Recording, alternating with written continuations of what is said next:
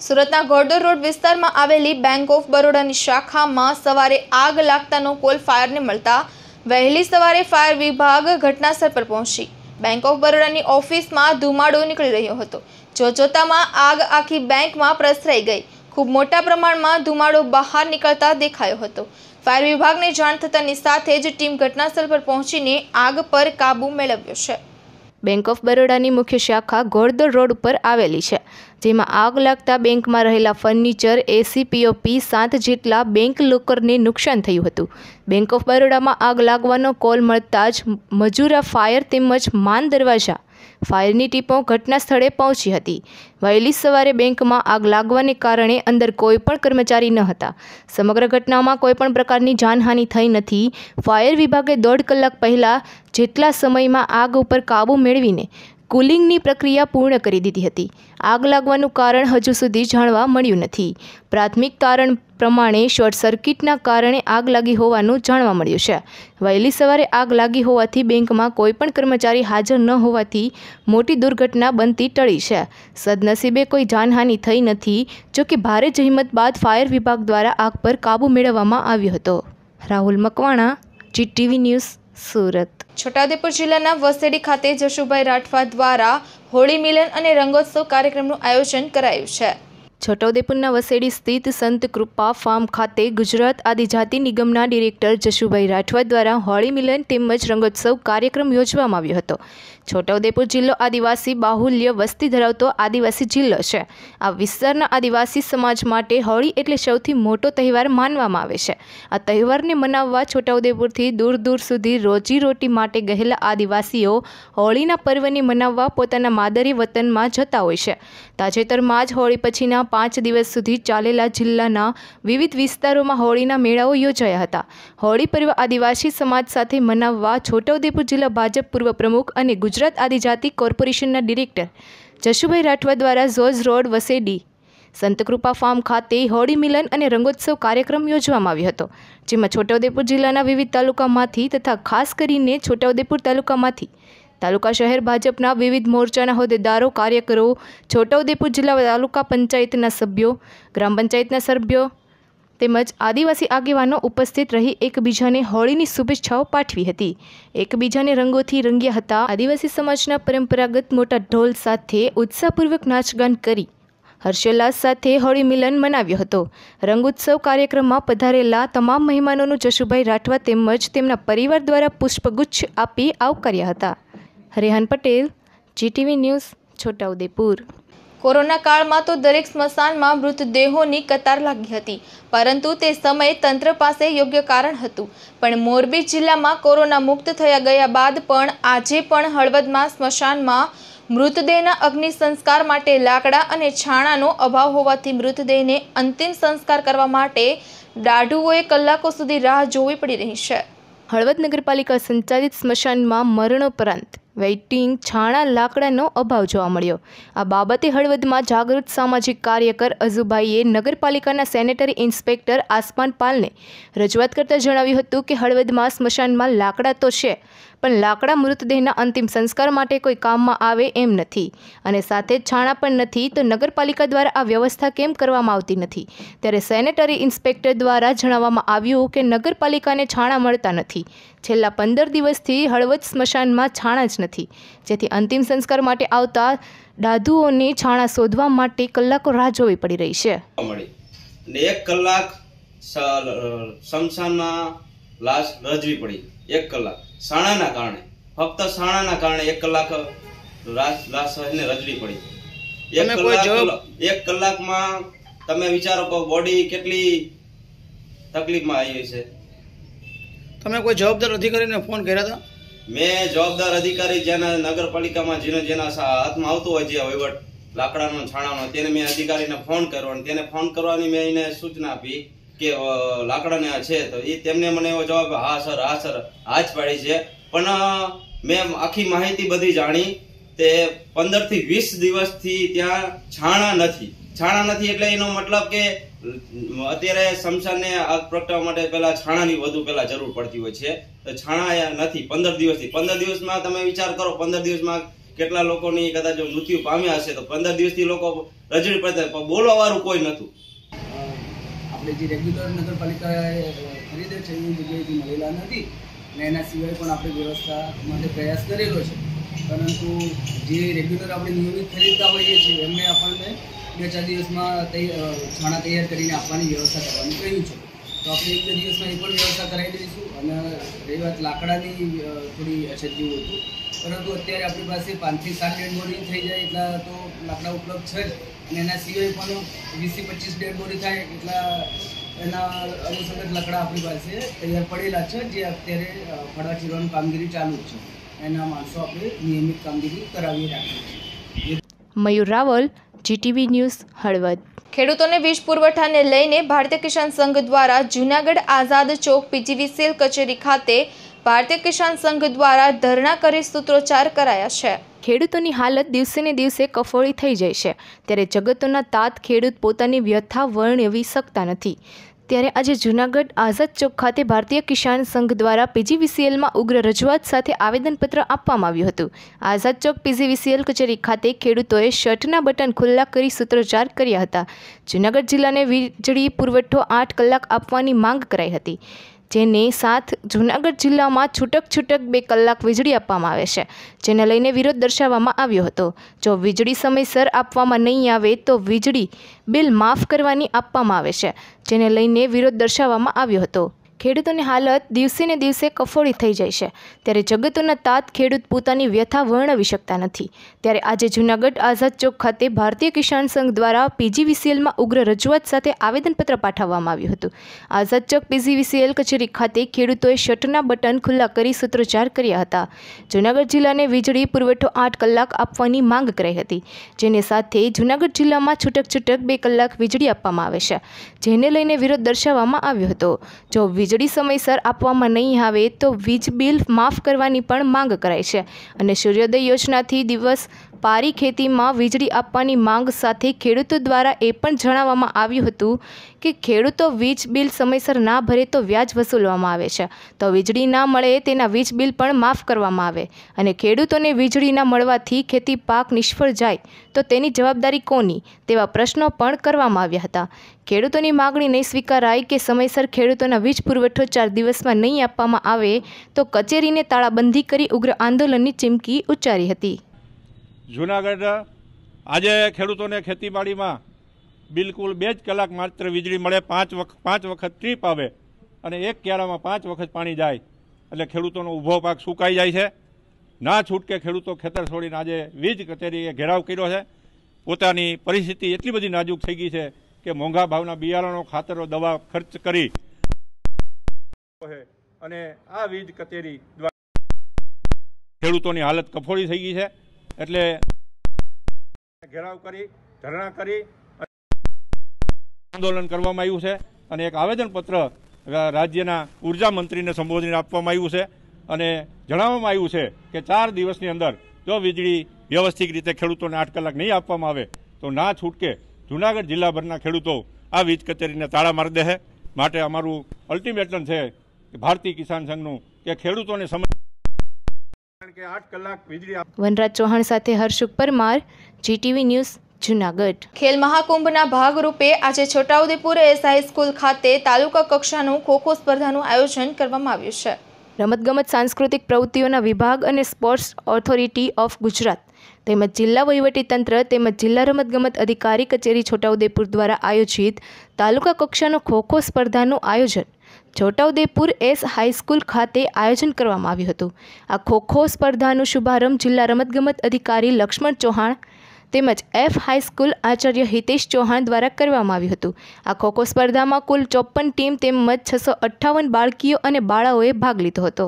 Sports authority of Gujarat અને જિલ્લા રમતગમત અધિકારીની કચેરી છોટાઉદેપુર તથા એસએફ હાઈસ્કૂલના સૌજન્યથી આજરોજ છોટાઉદેપુર તાલુકાની ખોખોની સ્પર્ધા એસએફ હાઈસ્કૂલ મુકામે યોજાઈ રહી છે.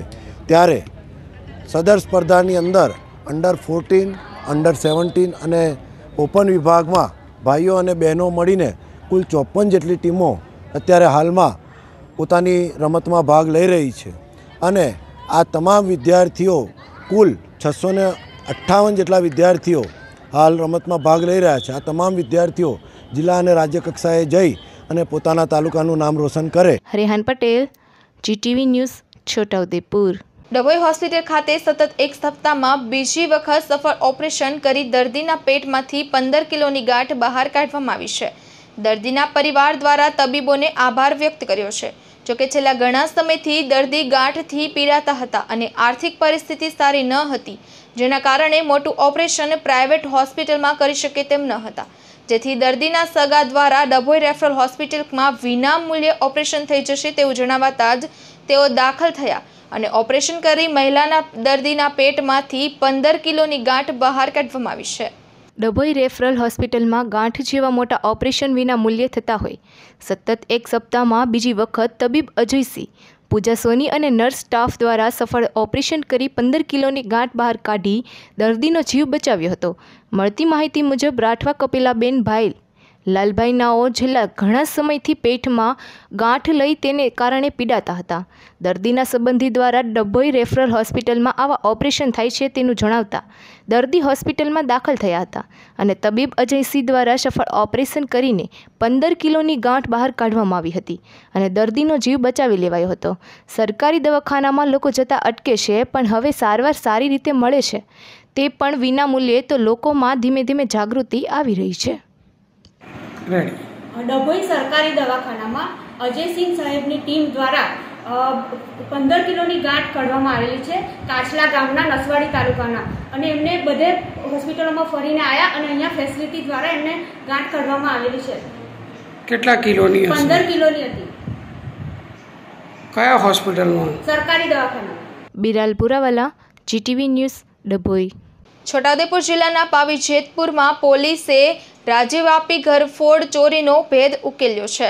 ઘરફોડ ચોરીના રીઢા ગણાતા ચીકલીગર ગેંગના બે આરોપીને ઝડપ્યા. પાંચ વોન્ટેડ પાવીજીતપુરમાં ત્રણ અલગ અલગ બંધ મકાનોમાંથી કરી હતી ચોરી. સોના દાગીનાની ચોરી કરી હતી પાવી જેતપુરના બે સહિત નવ ઘરફોડ ચોરીના ગુનાનો ભેદ ઉકેલવામાં પોલીસને મળી સફળતા. ભરૂચના જોંગીદર સિંઘ ઉર્ફે કબીરસિંહ સિકલીગર અને લાખનસિંહ લાલસિંહ બાવરી પોલીસ ગિરફતમાં દિવસ દરમિયાન ધાબળા વેચવાના અને ભૂંડ પકડવાના બહાને કરતા રેકી રાત્રે સ્વિફ્ટ કાર લઈ નીકળતા અને બંધ મકાનોને મનાવતા નિશાન. પોલીસે સ્વિફ્ટ કાર અને ઓગાળેલ સોના ચાંદી રોકડ મળી કુલ ત્રણ પોઈન્ટ સડસઠ લાખનો મુદ્દામાલ જપ્તે કર્યો છે. ઘરફોડ ચોરી ગેંગના મુખ્ય સૂત્રધાર જોંગીદર વિરુદ્ધ રાજ્યના જુદા જુદા જિલ્લામાં નોંધાયેલા છે સત્તર ગુના. તેર ગુનામાં છે વોન્ટેડ આ અંગે છોટાઉદેપુર પોલીસ અધિક્ષક ધર્મેન્દ્ર શર્માએ પ્રેસ કોન્ફરન્સ યોજી છે. છોટાઉદેપુર જિલ્લામાં ઘરફોડ ચોરી અટકાવવા માટે સઘન પ્રયત્ન કરવામાં આવેલ છે. ગયા વર્ષે અને આ વર્ષે જેતપુર ટાઉન વિસ્તારમાં બે ઘરફોડ ચોરી થયેલી હતી. એ ઘરફોડ ચોરીની સઘન તપાસ કરતાં પીએસઆઈ જેતાવત તેમજ એસડીપીઓ શ્રી કાટકડ સાહેબે સારું સફળતા અમે મળી છે. આમાં જે મેઇન આરોપી છે, જેને આપણે રાજ્ય સ્તરીય નામી, નામચીન ચોર કહેવાય, એવા જોગેન્દર, સંતોક ચિકલીગર અને લાખન એના જે છોકરા છે, એ અને બીજા પાંચ માણસોએ મળીને ઘણી બધી ચોરીઓ કરી છે. એમાં જેતપુર પાવીની ચોરી ડિટેક્ટ થયેલી, બીજા વડોદરા જિલ્લાની ચાર ચોરી ડિટેક્ટ થયેલી પંચમહેલ જિલ્લાની બે ચોરી ડિટેક્ટ થયેલી છે અને દાહોદની પણ બે ચોરી ડિટેક્ટ થયેલી છે. અને આ બંને જે આરોપી છે એ પહેલાંથી પણ તેર જેટલા ગુનાઓમાં વાન્ટેડ છે અને ફરતા રહેતા હતા.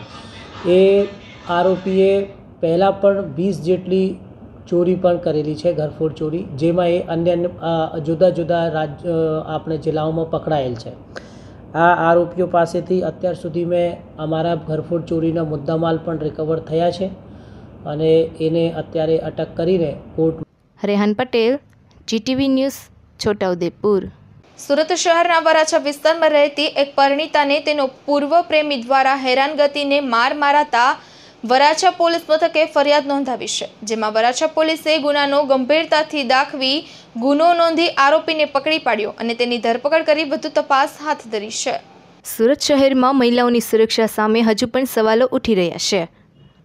જેમાં વધુ એક મહિલા ભોગ બનતા બનતા બચી જવા પામી હતી. સુરતના વરાછા વિસ્તારમાં રહેતા રત્ન કલાકારના ઘરે બે દિવસ અગાઉ તેની પત્નીનો પૂર્વ પ્રેમી વતન ગીર સોમનાથથી આવ્યો હતો અને કહ્યું હતું કે, હું મરી જાઉં છું. તું પણ મારી સાથે આવ. પરિણીતાને ઇનકાર કરતા તેને તમાચા મારી ભાગી ગયો હતો. બીજા દિવસે ફરી તે સોસાયટીમાં આવ્યો હતો અને પરિણીતાના નામની બૂમો પાડતા ધમકી આપી હતી કે, તું મારી સાથે આવી જા. જો તું નહીં આવે તો તને અને તારા પતિને જાનથી મારી નાખીશ. મળતી માહિતી મુજબ, મૂળ ગીર સોમનાથથી વતની બાવીસ વર્ષીય પરિણીતા ત્રણ વર્ષ અગાઉ તેના ઘરે રિનોવેશન દરમિયાન પ્લાસ્ટરની મજૂરી કામ માટે આવતા સુરેશગીરી, ભણગીરી મેઘાનારથી સાથે પ્રેમ થઈ ગયો હતો. જોકે એક વર્ષ બાદ અણબનાવ બનતા સંબંધ તોડી નાખ્યો હતો. ત્યારબાદ ભાઈ બહેન સાથે સુરત રહેવા આવેલી મનીષાએ આઠ મહિના અગાઉ સુરતમાં રત્ન કલાકાર તરીકે કામ કરતા યુવાન સાથે કોર્ટ મેરેજ કર્યા હતા. જોકે ત્યારબાદ પૂર્વ પ્રેમીએ પરિણીતાની વારંવાર મેસેજ કરીને હેરાનગતિ કરી હતી અને ઘરે આવીને બબાલ કરી હતી. આખરે પાગલ પ્રેમીએ આરોપીએ પોતાના હાથે બ્લેડ મારી દીધી હતી. બાદમાં યુવતીએ તેના પતિને ફોન કરતા સુરેશગીરી ભાગી ગયો હતો. જોકે વધુ એક વખત માથાકૂટ થતાં પરિણીતાએ વરાછા પોલીસ મથકે ફરિયાદ આપતા પોલીસે ગુનો નોંધી આરોપીને પકડી પાડ્યો હતો અને તેની ધરપકડ કરી આગળની કાર્યવાહી હાથ ધરી છે. ત્યારે એક સુરેશગીરી નામના ઈસમ સાથે એને પ્રેમ સંબંધ હતો. ત્યારબાદ એ યુવતીએ લગ્ન કરવાના હોય બીજા બીજા વ્યક્તિ સાથે એટલે આ એણે સુરેશના સાથે એનો પ્રેમ સંબંધ પૂરો થયેલો. અને પછી એ જ્યારે લગ્ન બાદ એના પતિ સાથે સુખેથી જીવન જીવતી હતી અને આ સુરેશ એને ફરીથી હેરાન કરવા લાગેલો. અને ગઈકાલે આ મહિલાના ઘરે આ સુરેશ નામના ઈસમે જઈને એને ચાલ તું મારી સાથે આવી જા હવે તું તારા પતિને છોડી દે. એમ કહી એની સાથે ગાળાગાળી કરી એના સાથે ઝઘડો કરેલો અને એના પતિને માર જાનથી મારી નાખવાની ધમકી આપેલી. એ બાબતની ફરિયાદ વરાછા પોલીસ સ્ટેશને ગઈકાલે દાખલ થતાં આ આરોપીને ગુનાના કામે ધરપકડ કરવામાં આવેલો છે અને એના રાહુલ મકવાણા જીટીવી ન્યૂઝ સુરત. સુરતના વાલક ખાતે એક અજાણ્યા ઈસમની સળગેલી હાલતમાં લાશ મળી આવી છે. લાશ મળતા પોલીસ ઘટનાસ્થળ પર પહોંચી અને લાશને પીએમ અર્થે હોસ્પિટલ ખસેડી વધુ તપાસ હાથ ધરી છે. સુરતના વાલક અને કામરેજ વચ્ચે રેલવે ટ્રેક વચ્ચે અજાણ્યા ઈસમની સળગેલી હાલતમાં લાશ મળી આવી. લાશ મળી આવતા પોલીસને જાણ કરવામાં આવી હતી. અજાણ્યા યુવકની ઉંમર અંદાજિત પંચીસ વર્ષ જેટલા હોવાનું માનવામાં આવી રહ્યું છે. પોલીસ દ્વારા ઘટના સ્થળે પહોંચી વધુ તપાસ હાથ ધરી હતી. પોલીસે ડોગ સ્કોડ અને એફએસએલની મદદથી લીધી હતી. અને લાશને પીએમ અર્થે હોસ્પિટલ ખસેડાઈ હતી. સરથાણા પોલીસે આ ઘટનામાં હત્યાની ફરિયાદ દાખલ કરી છે અને અજાણ્યો ઈસમ કોણ છે અને કોણે આ ઈસમની હત્યા કરી સળગાવી દીધો છે તે તમામ દિશામાં તપાસ હાથ ધરી છે. સળગેલી હાલતમાં લાશ પડેલી છે એવી માહિતી સરથાણા પોલીસને મળતા તાત્કાલિક વાલક ગામની સીમમાં જગ્યાએ પહોંચી જઈ તપાસ કરતા એક ત્રીસથી પાંત્રીસ વર્ષના યુવકની લાશ પડેલી હતી અને એને અર્ધ સળગેલી હાલતમાં એ લાશ હતી.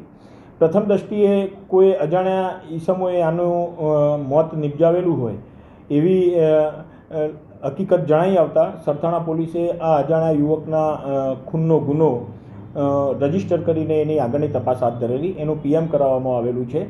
એની એફએસએલ અને ડોગ સ્કોડ મારફતે પણ તપાસ કરાવવામાં આવેલી છે. પરંતુ આ અજાણ્યા ઈસમની હજુ સુધી ઓળખ થયેલી નથી અને એનું મોતનું કારણ જાણવા માટે પીએમની કાર્યવાહી હાથ ધરેલી છે. એટલે કયા કારણસર કયા ઈસમોએ આનું મોત નિપજાવેલું છે એ દિશામાં Rahul Makwana GTV news Surat. Diamond સિટીએ એક રેકોર્ડ બનાવ્યો છે. આશરે ત્રણથી ચાર ગણો આયાતમાં વધારો આ વખતે સુરતમાં નોંધાયો છે. ડાયમંડ સિટી સુરતમાં રફ ડાયમંડ વિદેશથી વાયા મુંબઈ થઈને સુરત આવતા હતા. પરંતુ છેલ્લા બે વર્ષથી ચેન બદલાઈ છે. હવે ડાયરેક્ટ ડાયમંડ મંગાવવામાં ટેક્સેન્ડમાં પણ રાહત મળી છે. મુંબઈની સરખામણીમાં સુરતમાં રફ હીરાની આયાતમાં ચાર ગણી વૃદ્ધિ નોંધાતા ડાયમંડ સિટીએ એક રેકોર્ડ બનાવ્યો છે. લોકડાઉન અને કોરોના કાળમાં જ્યાં એક તરફ મુંબઈમાં કસ્ટમ વિભાગ સંપૂર્ણ રીતે બંધ હતું, તેના કારણે સુરતમાં રેકોર્ડ બ્રેક આયાત નોંધાયું છે. લોકડાઉન અને કોરોના કાળમાં મુંબઈમાં કસ્ટમ વિભાગની ઓફિસ બંધ હતી જ્યારે બીજી બાજુ કસ્ટમ વિભાગ કાર્યરત હતું. ડાયમંડ સિટી સુરતમાં રફ ડાયમંડ વિદેશથી વાયા મુંબઈ થઈને સુરત આવતા હતા. પરંતુ છેલ્લા બે વર્ષમાં ચેન બદલાઈ ગઈ છે. કોરોના કાળમાં મુંબઈમાં કોરોનાના કેસ વધારે હોવાના કારણે કસ્ટમ વિભાગની ઓફિસ બંધ હતી. બીજી બાજુ સુરતમાં મેન્યુફેક્ચરિંગ કંપની ચાલુ હતી. આવી પરિસ્થિતિમાં મુંબઈ મંગાવવાની જગ્યાએ વેપારીઓએ સુરત પોર્ટ પર મંગાવવાનું શરૂ કર્યું હતું. લોકડાઉન અને કોરોના કાળમાં મુંબઈમાં કસ્ટમ વિભાગની ઓફિસ બંધ હતી. જ્યારે બીજી બાજુ કસ્ટમ વિભાગ કાર્યરત હતું, જેનો સીધો લાભ સુરતને થયો છે. જીજેઈપીસીના વેસ્ટર્ન ઝોન ચેરમેન દિનેશ નાવડિયાએ કહ્યું કે લોકડાઉન અને કોરોના કારણે જે મહારાષ્ટ્રમાં કસ્ટમ વિભાગ બંધ હતું, ત્યારે સુરતમાં કસ્ટમ વિભાગ અને મેન્યુફેક્ચરિંગ કંપની બંને ચાલુ હતી, જેનો સીધો લાભ રફ ડાયમંડની આયાતમાં જોવા મળી રહ્યો છે. મુંબઈથી સુરત રફ ડાયમંડ મગાવવાના ટેક્સ લાગતા હતા. પરંતુ હવે ડાયરેક્ટ ડાયમંડ મગાવવામાં ટેક્સેશનમાં પણ રાહત મળી છે આશરે ત્રણથી ચાર ગણો આયાતમાં વધારો આ વખતે સુરતમાં નોંધાયો છે નાના અને મધ્યમ કક્ષાની હીરાની કંપનીઓના માલિકોને સશક્ત બનાવવા જીજેઈપીસી દ્વારા આ માટે જાગૃતિ ફેલાવવા અને કાર્યક્રમો ચલાવવામાં આવ્યા હતા જેથી આ મુદ્દે વેપારીઓ સજાગ બનતા તેમણે વિદેશમાંથી રફ હીરાની આયાત કરવાનું શરૂ કર્યું છે इन सब लोगों ने अपनी कंपनी में माल इंपोर्ट कर, करना चालू कर दिया और तीसरी बात यह है कि सूरत के अंदर जीएसटी आने के बाद और दो जगह पे जीएसटी भरना रहता है। शायद मैं मुंबई इंपोर्ट करूँ मैन्युफैक्चरिंग के लिए तो सूरत ही भेजना है।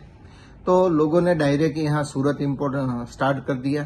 तो 2021 की बाईस 2021 और 22 की हम बात करें तो मुंबई के अंदर तीन हज़ार सात सौ पाँच पॉइंट ऐसी मिलियन डॉलर का इंपोर्ट हुआ और सूरत के अंदर तेरह मिलियन डॉलर का यानी कि तो तीन गुना जैसा इंपोर्ट यहाँ बढ़ा है। और मेरा ऐसा मानना है कि जब सूरत डायमंड बूस यहाँ स्टार्ट हो जाएगा तो 99 परसेंट जो मैन्युफैक्चरिंग साथ के जुड़े हुए लोग हैं वो अपना इंपोर्ट सूरत ही करेंगे और उसका डायरेक्ट इनडायरेक्ट दोनों बेनिफिट गुजरात को और सूरत शहर को मिलेगा। हीरा उद्योग जो पूरे विश्व में उसको एक गेटवे मिल रहा है सूरत से। हंड्रेड परसेंट गेटवे मिल रहा है कारण के मैन्युफैक्चरिंग अब गुजराती है और सूरत के अंदर ही बड़ी ऑफिस है जो कार्य मैन्युफैक्चरिंग कार्य कारोबार कर रही है और इसमें और एक मोरपीछ उमेरा जाएगा सूरत डायमंड बुश के नाम से उसमें भी आज चार हजार तीन सौ पचास के जाती Rahul Makwana GTV news Surat Surat crime બ્રાન્ચે અમદાવાદના ચેઇન સ્ટેન્ચિંગ અને મોટરસાયકલ ચોરી કરતા બે રીઢા ગુનેગારોને ઝડપી પાડ્યા છે ક્રાઇમ બ્રાન્ચે બે આરોપીને વોચ ગોઠવીને ઝડપી પાડ્યા છે. ચોરીની બાઇકથી મોર્નિંગ વોક પર નીકળેલી મહિલાને ટાર્ગેટ કરી બંને આરોપી ચેન્જ ચેન્જિંગ કરતા હતા. સુરત ક્રાઇમ બ્રાન્ચને બાતમી મળી હતી કે બે ઇસમો અમદાવાદથી મોટરસાયકલ ચોરીને સુરત આવી રહ્યા છે અને ત્યાં પણ તેઓ ચેઇન સ્નેચિંગ ના ઘટનાઓને અંજામ આપતા હોવાની પણ વિગતો મળી હતી, જેને આધારે સુરત ક્રાઇમ બ્રાન્ચ દ્વારા સરથાણા નેચર પાર્ક ખાતે વોચ ગોઠવી હતી. ક્રાઇમ બ્રાન્ચે બંને ઇસમોની પૂછપરછ કરતા સહકાર ગઈ હતી અને ત્યારબાદ તેમની ધરપકડ કરી લેવામાં આવી હતી. ક્રાઇમ બ્રાન્ચના આરોપીની પૂછપરછ કરતાં તેમણે જણાવ્યું કે આરોપી સનત ઉર્ફે પિન્ટુ જૈન પોતાના મિત્ર કે જે હજુ નાસ્તો ફરતો હોય. તેની સાથે અમદાવાદના જુદા જુદા વિસ્તારમાંથી મોટરસાયકલની ચોરી કરીને તે મોટરસાયકલ સુરત ખાતે લાવીને સુરત શહેરના પોશ વિસ્તારમાં સનત ઉર્ફે પિન્ટુ અને રાશિદ સાથે આંટાફેરા મારીને વહેલી સવારે મોર્નિંગ વોકમાં નીકળતી મહિલાઓને ખાસ ટાર્ગેટ કરીને તેમના ગળામાંથી સોનાની ચેઇન ચોરી કરેલાની કબૂલાત કરેલ છે. Crime branch PI Lalit Vagadiya જણાવ્યું હતું કે અમદાવાદના આ બંને રીઢા ગુનેગારો હોવાનું જાણવા મળ્યું છે. રાશિદ ભરત કામ કરતો હતો અને સુરતથી રો મટીરિયલ લેવા માટે આવતો હતો.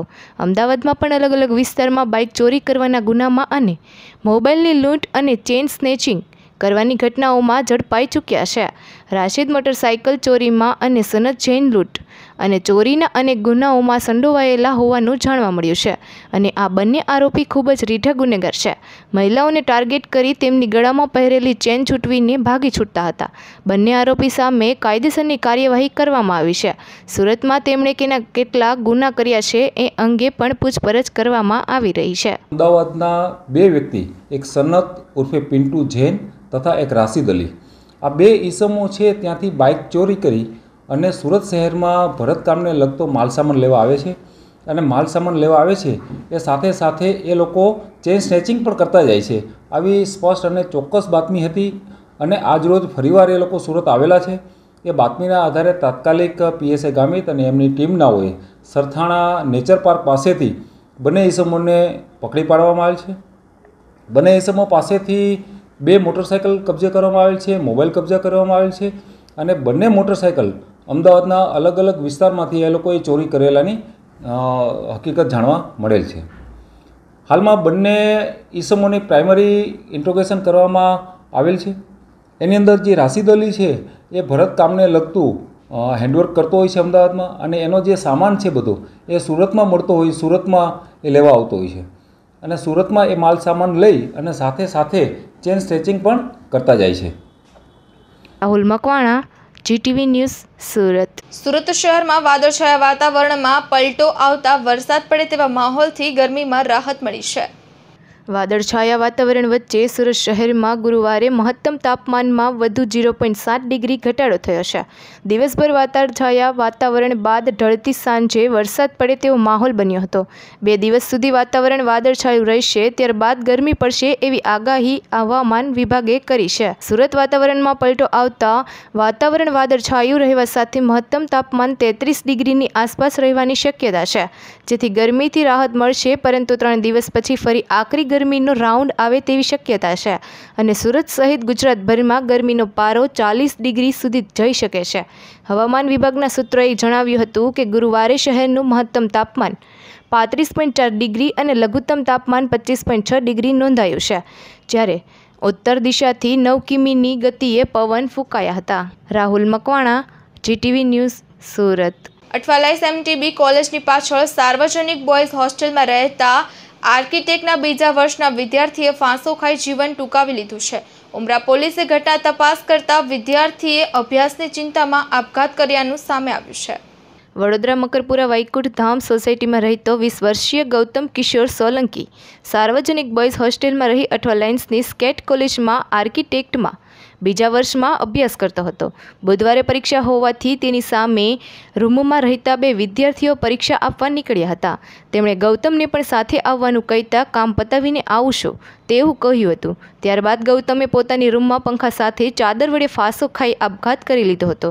તેની સાથે રૂમમાં રહેતા બંને વિદ્યાર્થીઓ પરત આવ્યા બાદ રૂમનો દરવાજો લોક હોવાથી અને અંદરથી કોઈ પ્રતિસાદ ન મળતો હોવાથી કેરટેકરને જાણ કરવામાં આવી હતી. કેરટેકરે માસ્ટર ચાવી વડે દરવાજો ખોલતા ગૌતમ ફાંસો ખાધેલી હાલતમાં મળી આવ્યો હતો. બનાવની જાણ થતાં ઉમરા પોલીસ ઘટના સ્થળે દોડી ગઈ. તપાસ શરૂ કરી હતી. ગૌતમ છેલ્લા કેટલાક સમયથી અભ્યાસના ટેન્શનમાં હતો. જેથી અભ્યાસના ટેન્શનમાં તેણે આપઘાતનું પગલું ભર્યું હોવાનું પોલીસની પ્રાથમિક તપાસમાં સામે આવ્યું છે. બનાવ સંદર્ભે પોલીસે અકસ્માત આત્મહત્યા કરનારની ગૌતમ સોલંકી અઠવા લાઇન્સ ખાતે સ્કેટ કોલેજમાં આર્કિટેક્ટના અભ્યાસની સાથે સાથે સંધિ સેવા માટે યુપીએસસીની પરીક્ષાની પણ તૈયારી કરી રહ્યો હતો. ગૌતમના પિતા વડોદરા ખાતે ઓએનજીસી કંપનીમાં ફરજ બજાવે છે. Rahul Makwana GTV news Surat. Surat મનપા દ્વારા ટીબી દિવસ નિમિત્તે ટીબીના દર્દીને પ્રોટીનયુક્ત ન્યુટ્રિશન કીટ વિતરણનો કાર્યક્રમ યોજાયો. આ કાર્યક્રમમાં મેયર સહિતના પદાધિકારીઓ ઉપસ્થિત રહ્યા હતા. વિશ્વ ટીબી દિવસ છે ત્યારે સુરતમાં મહાનગરપાલિકા ક્ષય નિયંત્રણ વિભાગ દ્વારા સાયન્સ સેન્ટર સ્થિત ટીબીના દર્દીઓને પ્રોટીનયુક્ત ન્યુટ્રિશન કીટ વિતરણનો કાર્યક્રમ યોજાયો હતો. આ કાર્યક્રમમાં મેયર હેમાલીબેન બોઘાવાલા સ્થાયી સમિતિ અધ્યક્ષ પરેશ પટેલ મનપા કમિશનર બંછાનિધિ પાની સહિતના પદાધિકારો ઉપસ્થિત રહ્યા હતા. સાલમાં લગભગ બારેક હજાર જેટલા ટીબીના પેશન્ટો સુરત શહેરમાં હતા. પરંતુ લોકોમાં જે એક અવેરનેસ આવી છે ને એના કારણે આપણે સુરત મહાનગરપાલિકામાં આજે સાતથી આઠ હજાર જેટલા પેશન્ટો થયા છે. અને એ નિયમિત આપણે એને ઘટાડવા તરફ લઈ જયા લઈ જઈ રહ્યા છીએ. આદરણીય દેશના વડાપ્રધાન શ્રી નરેન્દ્રભાઈ મોદીનું એક સ્વપ્ન છે કે ટીબી મુક્ત ભારત અને બે હજાર પચીસ સુધીમાં આપણે સૌ સંકલ્પ કરીએ કે ભારત દેશને અને સાથે સાથે સુરત શહેરને પણ ટીબી મુક્ત બનાવીએ. આમ તો સુરત શહેરની એક તાસીર છે કે હર હંમેશ દરેક પરિસ્થિતિમાં લોકોનો સાથ સહકાર મળતો રહ્યો છે. અને આ ટીબી નાબૂદી માટે પણ આજે આપ જોઈ રહ્યા છો કે આ કાર્યક્રમમાં અનેક સંસ્થાઓએ પણ ભાગ લીધો છે. લાયોનેસ સંસ્થા હોય કે લક્ષ્મીનારાયણ મહિલા સંસ્થા હોય, આ તમામ લોકોએ આજે પોતે ટીબીના પેશન્ટોને દત્તક લઈને પોતે આ પેશન્ટોને એક પૌષ્ટિક આહાર એમને જે જરૂરિયાતમંદ દવાઓ છે તે પણ ઉપલબ્ધ કરાવશે અને રાહુલ મકવાણા જીટીવી ન્યૂઝ સુરત. હવે સુરત શહેરમાં સ્વિમિંગ પુલ પર જીએસટીનું ભારણ લોકો પર નહીં આવે. સુરત મહાનગરપાલિકા આનંદ પ્રમોદ માટે કાર્યરત સંચાલિત સ્વિમિંગ પુલમાં કરાયેલા પ્રોજેક્ટમાં ટિકિટ પર ઉનાળાના વેકેશન દરમિયાન ભારે જીએસટી વસૂલાતી નથી. અગાઉ ઘસારો રહેતો હોય છે, ત્યારે બરાબર એક્વેરિયમ અને નેચર પાર્કમાં વેકેશનનો સમય આવવાના પહેલાં જીએસટી વસૂલવાની દરખાસ્ત જ સ્વિમિંગ પુલોની મેમ્બરશીપ આવતા વિરોધ થયો હતો અને ફીની સાથે અઢાર ટકા જીએસટીના આ દરખાસ્ત મુલતવી રખાઈ હતી. લગાવવા માટે દરખાસ્ત શાસકો ત્યારે હવે સ્વિમિંગ પુલમાં જીએસટી સમક્ષ રજૂ કરવામાં આવી હતી. વસૂલવાની દરખાસ્ત શાસકો સમક્ષ, પરંતુ શાસકો દ્વારા જીએસટીનો મુકાઈ હતી. પરંતુ સ્વિમિંગ પુલના બોજો સભ્યો પર ન નાખવાનો સભ્યોને માત્ર ફી જ ભરવાની રહેશે તેવો નિર્ણય કર્યો છે અને જીએસટીનો તેવો નિર્ણય લેવામાં આવ્યો છે. ખર્ચ મનપા ભોગવશે તેવો નિર્ણય એટલે કે જીએસટીનું ભારણ મનપા ગુરુવારે મળેલી સ્થાયી સમિતિની જ ભોગવશે અને સભ્યો માત્ર એન્ટ્રી મિટિંગમાં લેવામાં આવ્યો હતો. ફી અને રિન્યુઅલ ફી જ ભરશે તેવો નિર્ણય કરવામાં આવ્યો છે. જેમાં બે કામોની અંદર રૂબરૂ બોલાવવામાં આવ્યા હતા. એમાંથી એક કામની અંદર જે કોઈ માલિકોએ રૂબરૂ હાજર થયા નથી, એમને બીજા સાત દિવસનો સમય આપવામાં આવ્યો છે. અને સુરત શહેરીજનો માટે સૌથી અગત્યની વાત જે છે, એ કે સુરત મહાનગરપાલિકા દ્વારા સત્તર જેટલા તરણકુંડો સંચાલન કરવામાં આવે છે. એમાં જીએસટી બાબતે એક ચર્ચા આજની સ્ટેન્ડિંગ કમિટીમાં મૂકવામાં આવી હતી. એમાં એવો નિર્ણય લેવામાં આવ્યો છે કે જે કોઈ પણ જીએસટીની રકમ હશે એ સુરત મહાનગરપાલિકા ભોગવશે. અને સુરત મહાનગરપાલિકા પ્રવેશ ફ્રી અને રિન્યુઅલ ફ્રી યથાવત રાખશે અને એના માટેના અનુસાંજિક કાર્ય કરવા માટે મ્યુનિસિપલ શ્રી કમિશનર શ્રીને રાહુલ મકવાણા જીટીવી ન્યૂઝ સુરત.